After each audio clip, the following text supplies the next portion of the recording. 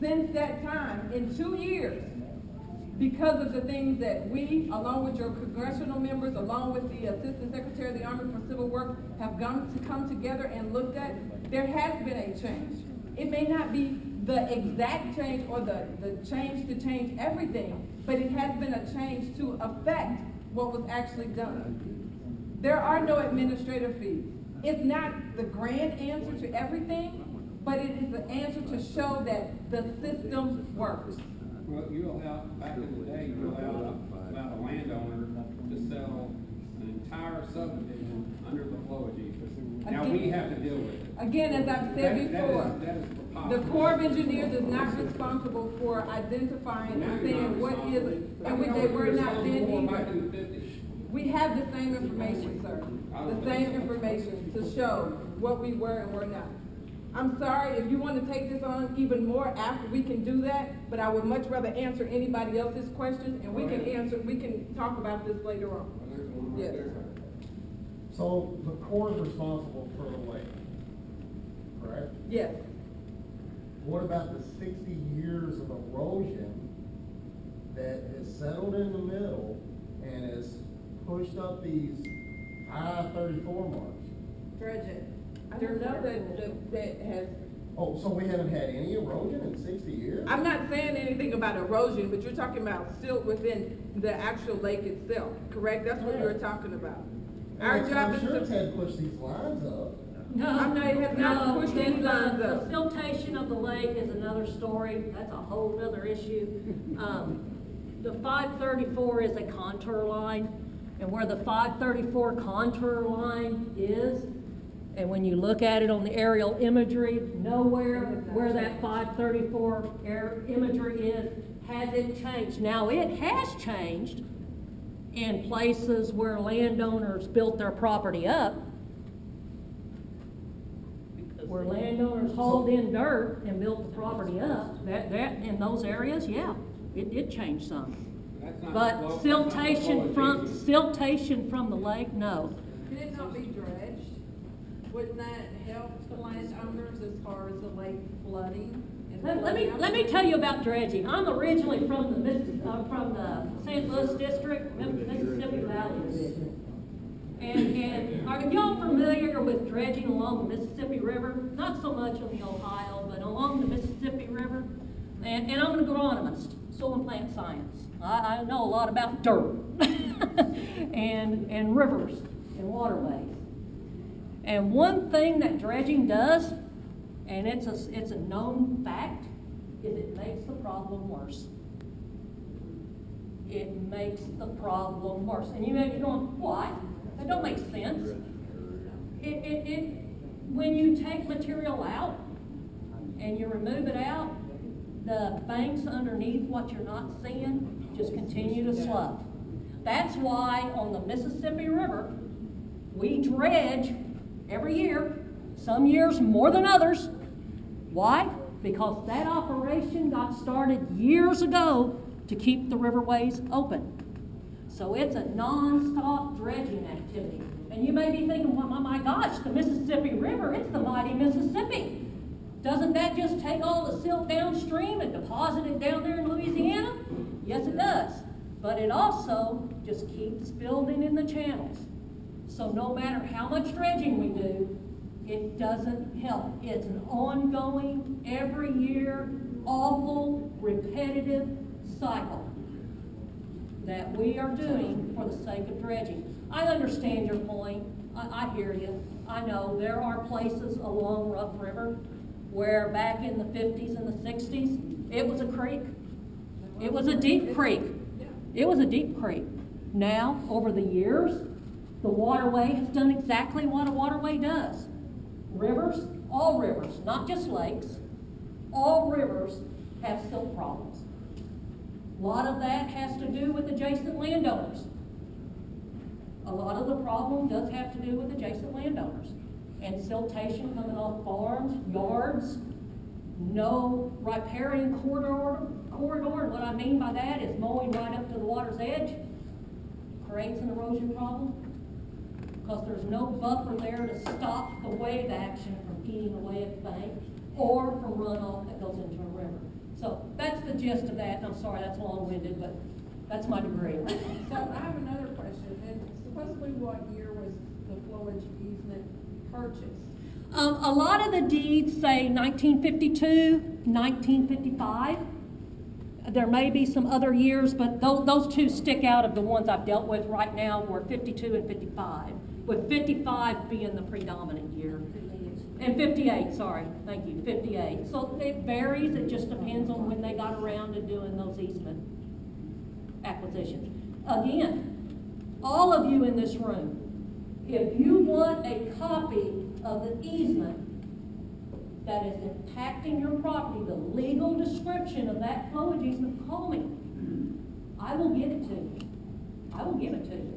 I'll email it to you, or I'll put it in the mail to you, or I'll put it in your hands, whichever way you want. And if I don't have it in my system at the office, real estate's great. All I gotta do is send them an email, and they find it, and they send it to me. But these, these deeds are recorded in the courthouses. And I'm not gonna lie to you, it does take some digging sometimes to find it. Especially when the tracks have been just lots of lots developed on it. And figuring out, and it takes up more than one track, so we have to figure out where your lot is in regard to the original track. So we have to do a history lesson and find where the original track, what it encompassed. So could I just ask for, to clarify my own mind? And I understand both sides, that, you know, that it was, so, uh, from the point of where the easements were purchased by the Corps of Engineers, then landowners who sold their properties did not, I would say, they did not do their due diligence in the sense of, if you don't disclose that you have a leaky basement, you're, that they didn't disclose that they're, so I see what you're saying. And then I understand that you are not the government, and I thank you for your service for us, that, you know, that you have, have served us as citizens. So the people who are being told their three hundred thousand dollar home, if it is in a scenario where it is destroyed by tornado or fire or flood, cannot rebuild, and they're all in that scenario if it's an entire subdivision, are you suggesting a class action lawsuit? Are you suggest, what is their resolution? How, how can? Keep, keep in mind, back to what I originally said, scenario C especially. You know, for years around this lake, what was the yellow line? Five thirty-four. Scenario C is one hundred percent below that contour line of five thirty-four. So, So they're saying that they knew that going into it. I'm not saying they knew that. I, I can't get into their Right, head. right. I I'm don't know what there is that scenario, there's a possibility they knew going into. Correct. But even the, potentially the developer potentially knew that, and there's still the innocence of those who purchased and might not have known. Okay, I just. I've gotta get this lady up here, bless her heart, I am so sorry. That's okay, I just have one question, quick question, and what is the time? I mean, I just talked about the surveyors being backed up, the health departments being backed up. Originally, we were told one year. What the one, yes, and what the one year, what we originally told folks was to begin resolution. What does that mean? That means you called Diane Stratton and you said, hey Diane, I've called the health department, I've called the surveyor. They said it's gonna be over a year or longer before they get around to me. That's I need to know. I'll write your name down, I'll put, when I talk to you on my spreadsheet, I'll verify with whoever, like if you call the surveyor, I'll call and say, hey, did you, you have her on your list? He'll, he or she will say yes, you've begun resolution. You've done what you need to do. My second question is a little dirtier, so. Let's talk food. Okay, let's talk about food. Yeah. Because you keep saying, as long as you have a ver, a health department verified septic, septic system, you're fine. So what if you don't? If you don't, that's when you, I'm, I'm not a poo expert. And we, the Corps of Engineers, have decided that we are gonna let the Kentucky Health Department deal with septic systems. So if they come out and they say, you don't even have a septic system, I your poo's been going straight into the lake through the premises, or your septic system is failing. They will sit down with you and they will explain where you can put a septic system. They do have systems that the Corps of Engineers has looked at and have agreed to go below five thirty-four. They are very expensive systems, I'm not gonna lie to you. That, and those systems, the health department has said it will be a last resort before they'll let one of those go in. So with those, in that case, if it's, let's, for example, everything you own is below five thirty-four. And there's nowhere, you own nothing about above five thirty-four. And even if you did, there's nowhere for the septic system. In that case, the health department will work with you with the systems that they have that are acceptable for being installed in a floodplain. And that's the system they would require you to put in. If you Yes. You gotta get the land in the dirt in. Yes. Perk that. Uh, yeah, there's a dirt whole back in, building perk lane, it. yeah. Three, four times, and then they'll say finally, three years later, oh, well, the ground's still covered. Yeah. Okay, so, but if your structure, if your, ha- you, human is above the five thirty-four line, but your septic system is below, are you impacted at all? If, if your structure is in flow easement below five thirty-four, Yes. you, you are impacted because you have a habitable structure in the flow easement. So you will have to request that the Corps of Engineers release all of the restrictions of their flow easement above five thirty-four. Your septic system, you will get something from the health department verifying that it's a functioning system. Your septic system is fine, you stay there if they say it's a functioning, it's functioning properly system.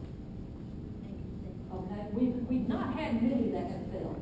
We've had a lot that were non-existing, but we've not had any Well, I mean, you know, we're talking, you know, some people's using outhouses. Yes, I mean, you know, so you're talking about systems that, are places that have never yes. had a health department look at. I, I will, I cannot speak for the health department. I know they do have avenues and a process.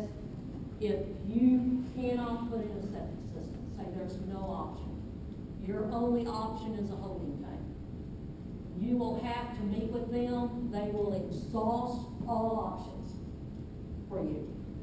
And then even though the state says holding tanks is prohibited, they are prohibited unless you install certain types of holding tanks.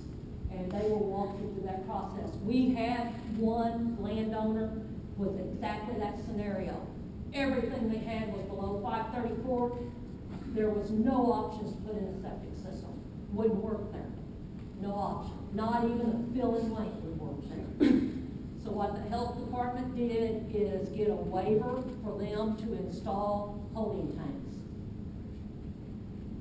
But the holding tanks have a very detailed monitoring system that the state requires, that the landowner has to pay for.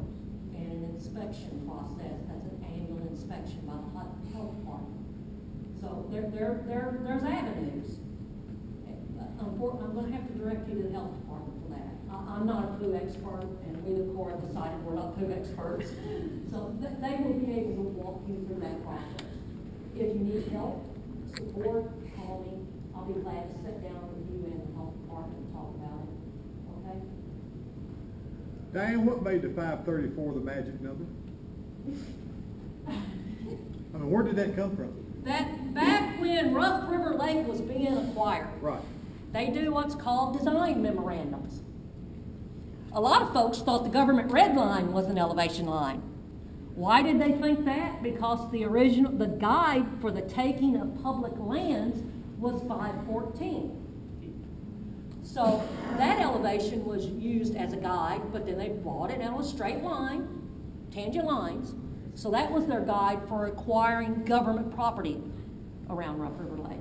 Those of you that are around Rough River Lake know that our government property is way below that in places and way above it in places. Flowage easement's the same scenario. Back then, the engineers, when they were looking at how they were gonna build Rough River Lake, what land they needed for project purposes, what easement they needed solely for the purpose to back water up on, those were elevations the engineers did back then based on the data they had at the time, is where they got those elevations from. And then they took those elevations and put them in what's called a design memorandum. And then the design memorandums went to Congress. Congress approved them. Then it came back down for the Corps of Engineers to go forth and build Rough River Lake. So that's kind of where that, that, I, I wish I could give you an exact how we got that number, I can't. I wish I could, but I can't.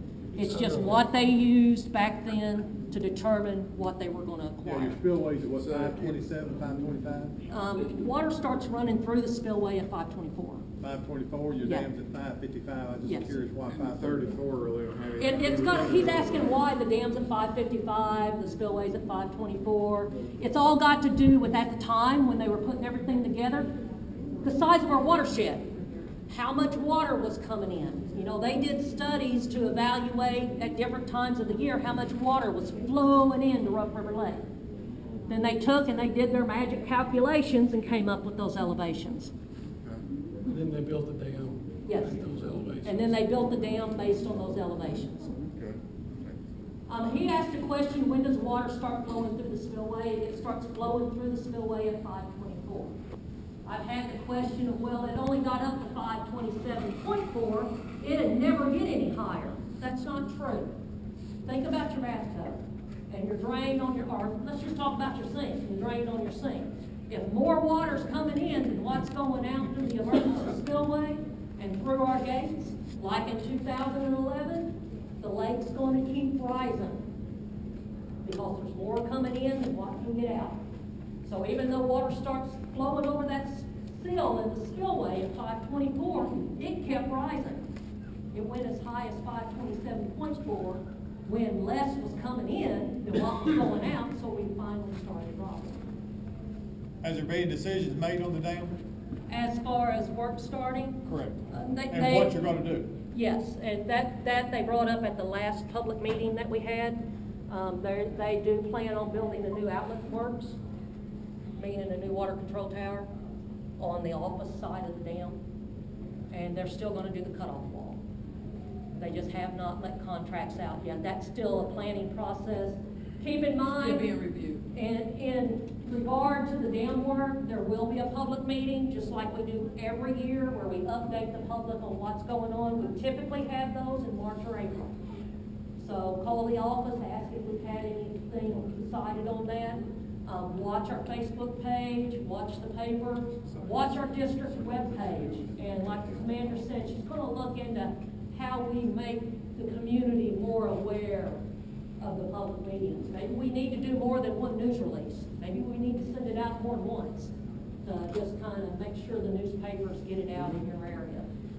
But we're, we're gonna look at that.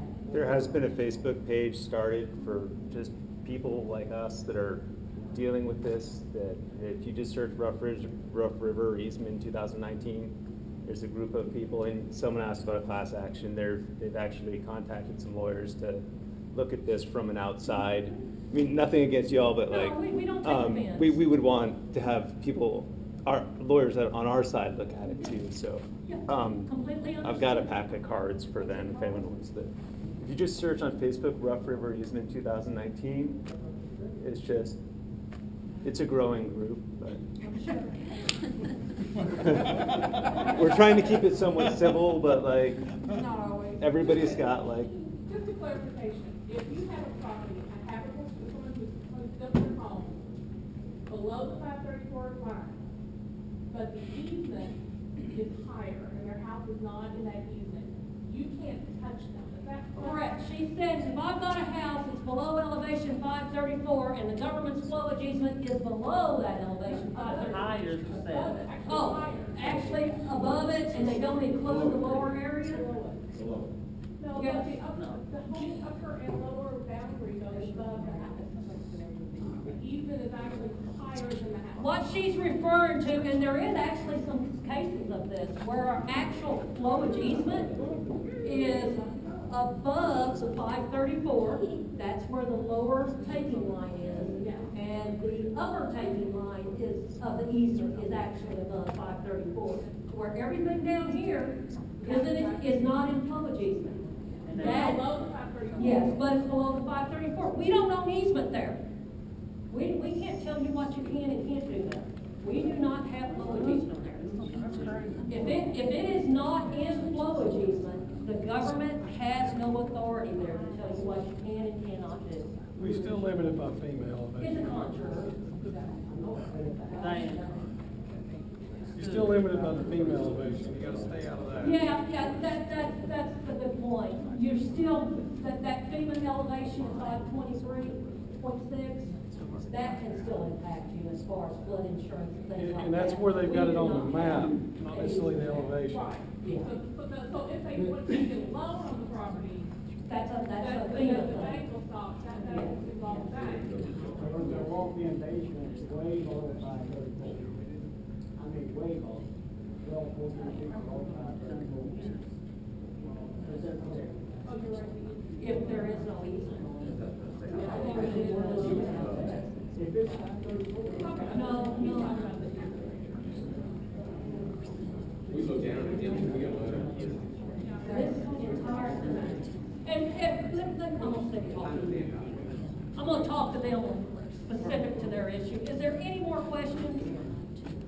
If not, folks, I appreciate you coming out today, this evening. Thank you. If you have questions, you can grab one of us afterwards.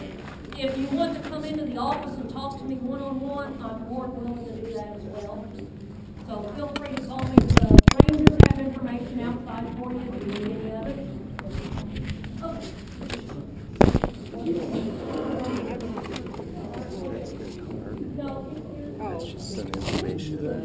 In case you need anybody to call me, things like that. Thank you. I want to understand to deal with the situation, so I don't want us not be responding to you or Right. anything. I appreciate it, thank you. In your Facebook group, you just go to, What, you got it? I forgot, I wrote it down, just ask to join or?